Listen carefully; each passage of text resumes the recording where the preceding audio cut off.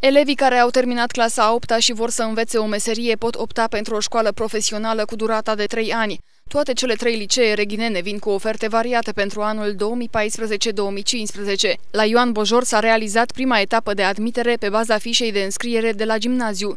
Instituția pune la dispoziție două clase cu specializarea mecanic agricol sau lucrător în agroturism.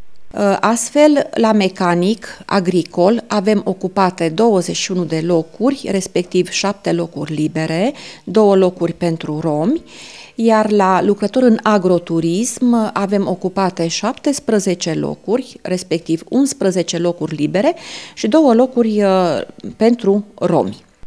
Și Liceul Tehnologic Petru Maior așteaptă absolvenții claselor a 8 -a pentru înscrieri. Pentru a putea ocupa un loc la profilul mecanic auto, elevii au fost nevoiți să treacă de o probă suplimentară de departajare, în care au fost testați din materia educație tehnologică, la care trebuie să obțină cel puțin nota 5. La noi la școală va fi o singură clasă de școală profesională cu profil mecanic auto. Din cele 28 de locuri uh, au fost ocupate 23 de locuri.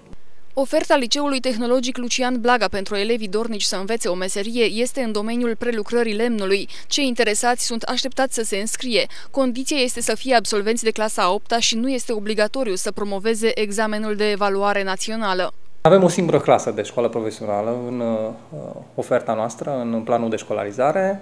Uh, admiterea deja a început, pentru că e o admitere care se desfășoară în mai multe etape, e vorba de trei etape. Până în momentul acesta s-au înscris uh, un număr de 5 elevi. Deocamdată Următoarele etape de înscriere la școlile profesionale vor fi între 27-28 iulie și în perioada 1-2 septembrie.